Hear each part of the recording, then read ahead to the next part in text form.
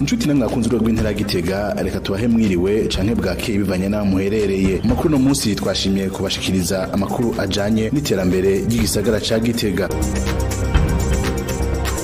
Inzu zose zubatswe mu gisagara ca gitega hadakurikijwe amategeko yo kubahiriza imetero zisigwa hagati y'inzu n'ikaburimbi zaraciwe ko imisaraba itukura n'abafundi bo mu bisata bitandukanye vy'intara ya gitega abo muri ijebu kadastre iribanisme hamwe n'umufundi wa komine ya gitega aho uwo mugwi w'abafundi warurongowe n'umuhanuzi wa buramatari ajejwe iterambere. Muri ico gikorwa cakozwe kuva kuri uyu wa kabiri igenekerezo rya mirongo ibiri ndamukiza na rimwe kw'ibarabara riva mu gisagara ca bujumbura rigana igisagara ca gitega guhera kuri burarudi gushika muri kartie ya nyabiharage. Ivyibonekeje nuko abubaka benshi batubahiriza gusiga izo metero zitandatu. Umuhanuzi w'urumatari ajejwe iterambere sabukunze serge amenyesha ko ivyo bikorwa biriko birakorwa n'uwo mugwi bariko babikora nk'abahinga mu ntumbero yo kwereka abo bantu ko barenze amategeko. Twazindukiye mu gikorwa eh, c'ubuhinga igikorwa co kusuzuma abantu bose bubatse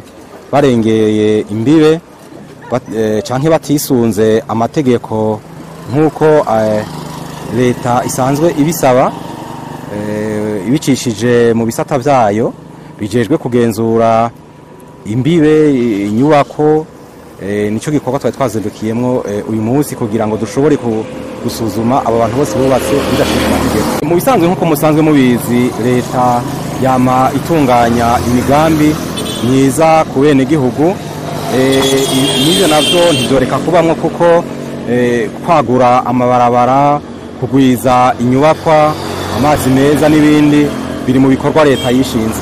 Twebwe twakoze igikorwa c'ubuhinga hanyuma rero turangije iki gikorwa turaheza tugishikirize eh, abasanzwe baduserukira hanyuma nabo twizera yuko vuba bazoheza bagatunganya eh, inama yo kumenyesha abo abegwa ni n'ico kibazo cyo kubaka barengereye imbibe eh, ikigiye gukurikira.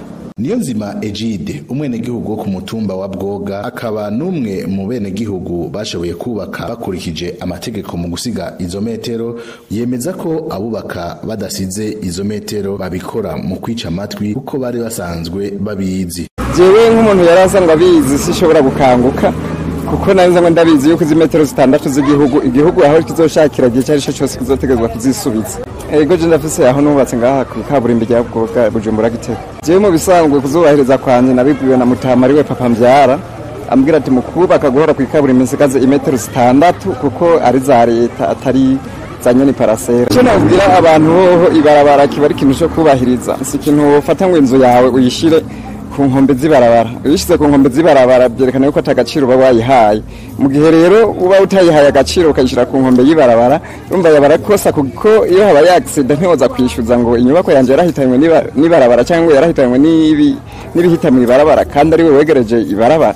Umuhanuzi buramatari ajejwe iterambere akaba amenyesha kandi ko igisagara ca gitega gitegerezwa kugira isuku n'isura nziza hamwe uwuhaje wese abona koko ko yinjiye mu gisagara ca gitega umugwa mukuru wa politike. Abafise amabotike y'ibibaho na yo nyene akaba yaraciwe ko imisaraba itukura. Igikorwa nk'ico kikaba kandi carakozwe muri komine ya bugendana aho amazwi yubatswe impande y'ikaburimbi n'izo metero zitandatu naho nyene yaciwe ko imisaraba itukura. Turashimiye kuba mwadukurikiranye ntimwibagire gusangiza iyi nkuru bagenzi banyu mwongere munagire n'ico muyivuzeko. Tubibutse ko mushobora gukurikirana amakuru y'urubuga rw'intara gitega mu guca kuri page facebook mu kwandika province gitega site web www province gitega gov b ku rubuga rwa twitter arobase gitega eka ndetse no kuri chaine youtube gtg web tv turashimiye ko mwadukurikiranye ntimwibagire gukunda iyi nkuru kuyikundisha bagenzi banyu no kuyibasangiza murakoze.